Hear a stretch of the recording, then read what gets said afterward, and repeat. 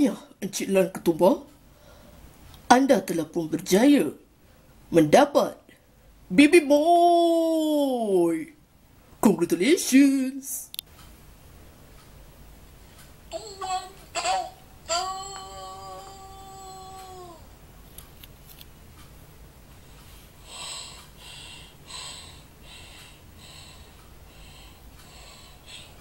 Baby.